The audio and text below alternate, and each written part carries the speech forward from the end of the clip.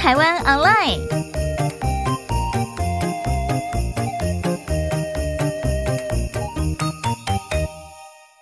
欢迎我们关心东台湾大小事，我是陈秀清。旅游是暂时脱离现在的生活，去寻求身心灵的放松，再充电。近二十年以来，台湾各地兴起的休闲农业，带给国人另类的旅游模式，更深度的认识农村，亲近大自然。而花莲县是全国有机面积最广的县份，再加上得天独厚的自然资源以及天然美景，推动休闲农业就更具特色了。在疫情缓和之际，不妨可以在安心、安全、防疫的情况之下，到乡间走走。而有关于花莲县的休闲农业区、休闲农业的发展，我们邀请到花莲县政府农业处处长吴坤如吴处长来跟我们分享。处长您好，各位听众朋友大家好。好，那首先呢，我们来开宗明义一下，什么是休闲农业？农业休闲区是什么？是。在农业发展上，哈，第一个部分是农业的社区。那农业社区一般大概就是进行生活、生产、生态这样的一个聚落。那休区其实跟社区最大不同就是，社区是点，休区是面。那最注重的部分是多的景观，还有农村相关的体验。它就是让一般的民众哈向往对土地的眷恋，可以来到休区。做相关的体验。那我们花莲县有五大休闲农业区，对不对？他们各具特色，那可以请出来跟我们分享一下。花莲哈，二十五年前就已经在发展无毒农业。那对全国民众来说，其实花东是台湾的净土啊。花莲比较大的特色，第一个就是呃受风休区的部分，它是花莲第一个推动无毒农业哈的一个区域。那在这个休区里面，呃有几个主要生产的作物，包含有机蔬菜。另外，寿寿丰休区有一个养殖的专区哈，所以它也有三宝，包含无锅鱼、黄金蚬跟贵妃鱼啊，这个是受丰休区的部分。受丰休区也有啊，另外一个比较大的特色，也是花莲哈呃另外一个最主要的文化基底是移民文化，所以它在早期日本日据时代的时候。包含像丰田、丰山，哈，都是很早期日本移民村啊这样的一个环境。那它也留下了一些日本日据时代的一些文化的遗迹。从另外一个阶段是客家文化的移民，哈，这个是在呃受封的部分。受封往南是另外花莲很基础文化的基地，叫马太安。马太安是呃花莲最大的湿地，大概是有十二公顷，哈。那另外一个部分是它是阿美族的传统领域。那也因此，在在地你可以啊去感受或欣赏到原来生态的美，跟原来原住民在这里生活的智慧跟它的美。马太安的名字是阿美族啊里面称的树豆哈，那它也有一些传统，像捕鱼的啊马拉告这样的一些啊做法。那你可以走入这个生态环境里面，另外你可以去体验到阿美族当年在农耕跟环境的保护上，跟它的美食哈。那再往南，蛮特别的一个地方是五鹤休区。五鹤休区介于北回归线这一条线。那北回归线其实是很特别的一个产物的地点，所以在茶跟咖啡都是很重要的一个培育地。那也因此，五鹤休区在蜜香红茶，它大概是全国很很知名的一个地方。那五鹤这一段还蛮有名的是我们的瑞穗牛奶，这个都是现在在呃五鹤休区这一段的部分。再往南是我们米仓啊的大粮仓东风，东风是有机的，整个村落很大，它联动到后面第五个休区是罗山，所以在玉里富里有机米哈，我们现在在两千八百多公顷，占全国百分之二十五哈，我们持续每一年会有百分之十的成长，让我们的干净的环境可以被维护着。那所以往下就是东风啊休区的部分，那玉里那一段有八大它的美景哈。也有它特有的这些物产，像文旦、米。那另外就是日本人留下的羊羹，哈。那再往南是罗山，罗山是全台湾第一个有机村。在罗山的部分呢，也很有名，是我们的呃泥火山豆腐，在当地也形成另外一个呃特有的风味。这大概就是花莲五大休区的一个部分。所以听处长这么说，我们花莲的五大休区都各自特色，而且都拥有全国第一的一些独特性，对不对？对。好，那所以呢，这五大休区呢，我们如果要玩的话，我们可以吃喝玩买。那这五大休区，如果我们要玩的话，你会怎么样来建议？其实我会呃建议大家来哈，倒不是说呃只是五大休区这个概念，因为花莲最大特色是半个小时内你可以上山，然后半个小时内你可以看到大海，尤其是一望无际的太平洋哈。所有人来到花莲，第一个特色就放空放松自己，因为你会让自己准备下一段要充电的味道。那这个是花莲独有的一个部分。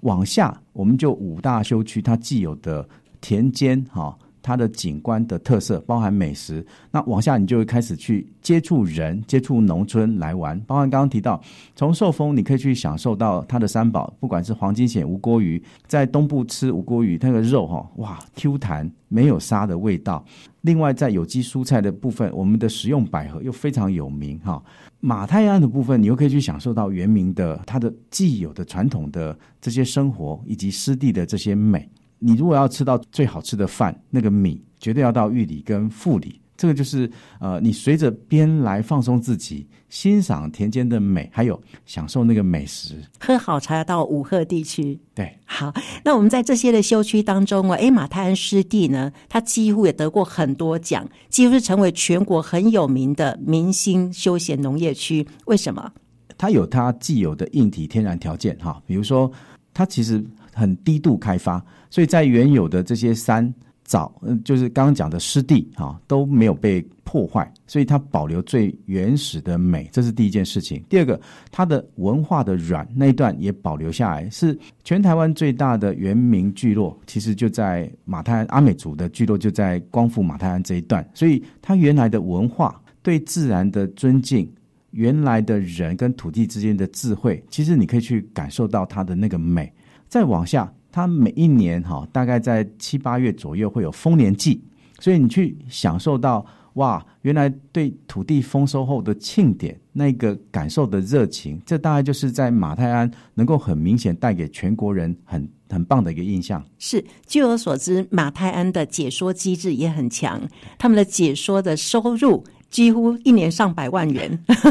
这个是蛮强的，在全国各地来说是很特别的。是。换个角度说，假设有一天您去故宫，你会希望有人可以细细的说这些故事，把每一个作品把你引导到当时那个年代来。那也一样，你到马泰安，我们有很棒的这些呃解说老师，是他能够带你去欣赏那个大自然里面你看不到那个深奥的美。另外一部分是他田间这些文化的美。是我们来探讨，我们发现说最近这十年，很多人很喜欢到休闲农业区，觉得是为什么？其实人哈在压力后或者繁忙后哈，人还是心里有个渴望跟归属，就跟你在家里装潢喜欢用木头一样，你会渴望那个田间树木哈，然后你会希望那个大海带来的疗愈跟辽阔，这就是人跟土地离不开。也因此，花东其实是最吸引人的的一个地方，那就是你心里面有一种呃永远人不会离开土地的渴望，这个就是最基础的部分。那随着疫情后哈，现在生活也有一点改变，因为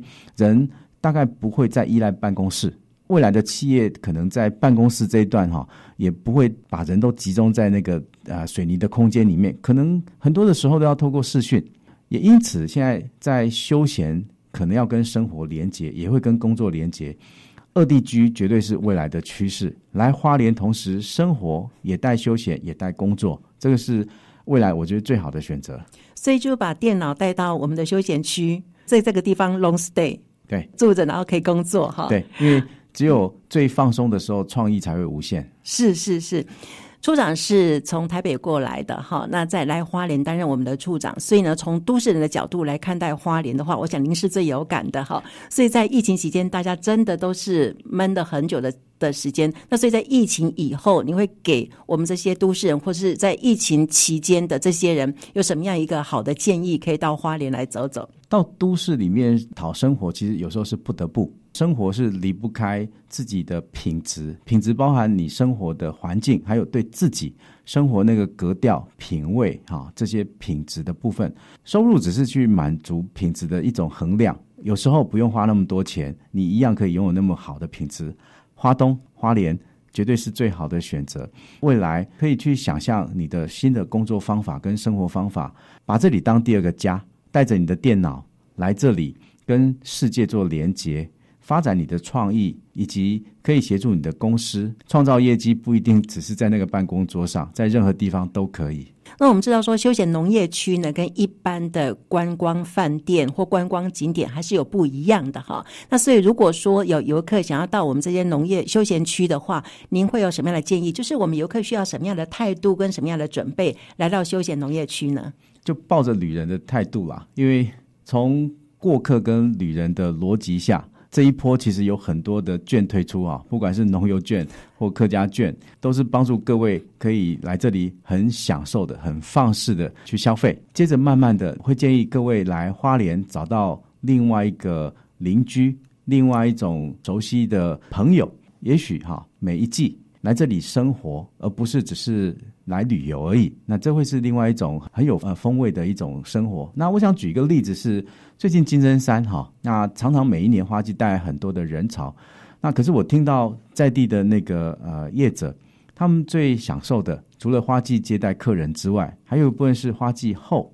反而有一些老朋友固定每一年会来住一个月。生活周期也很简单，白天起来吃个早餐，出去散步，回来发呆，啊，他的房间或在户外看音乐、看书，下午又出去散步，啊，几个老友这样对话，这就是一种很悠闲的生活，而这生活会带来心里反而是另外一种幸福感。是，所以除了金针季的繁华之外，金针季结束之后，其实还有不同的宁静，对，可以接待不同的游客到这个地方来当邻居，对，哦，当把它当做是另外一个家。那刚刚处长谈到的就是农游券呐，哈，客家券呐，那像这些的话，在我们的五大休区可以如何使用？现在这些券呢，都可以在休区里面哈，不管是吃饭使用，或者是买伴手礼使用，甚至呢在住宿上，只要你消费，都可以去使用它。这些休区都有不同的特色哈，像以利川渔场来说，你可以去蒙拉，好，你也可以去吃呃它的冰淇淋，吃它的风味餐，随着周边。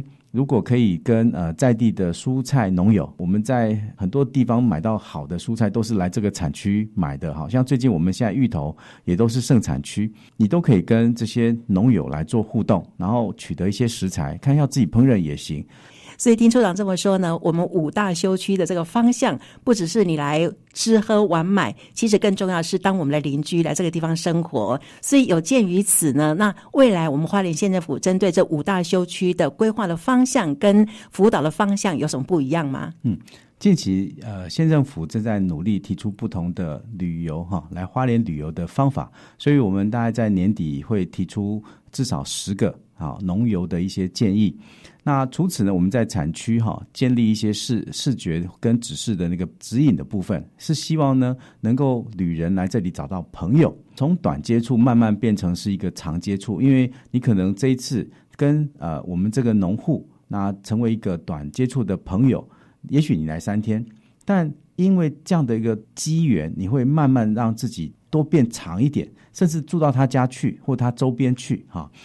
变成呃，推动花莲是你第二个家、第二个生活的地方啊，这个是我们现在陆续在啊推动的一个部分。所以这样子的方向可能也会刺激我们农友必须要成长。所以这个部分呢，我们农友他会有什么样的呃准备？然后我们要怎么样来辅导这些的农友？他必须要有不同的思维来接待不同的客人。嗯，其实其实从生产者到后来哈，变成是一个接待者。这个转变啊，已经也在进行中啊。以这一次刺客山当例子，社区的农友本来就习惯说，在这个短期内接待客人，可是慢慢的啊，他们已经开始也把这个客人当老朋友啊，长期在做联系，也因此他在花季后也能够继续让呃他下一段呃服务可以一直维系下来。那我们在呃受封那一段啊，也是一个例子，是说